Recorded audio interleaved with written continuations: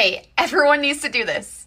Take your finger, cover one of your eyes, and then look at your finger with the other eye, and then take it off.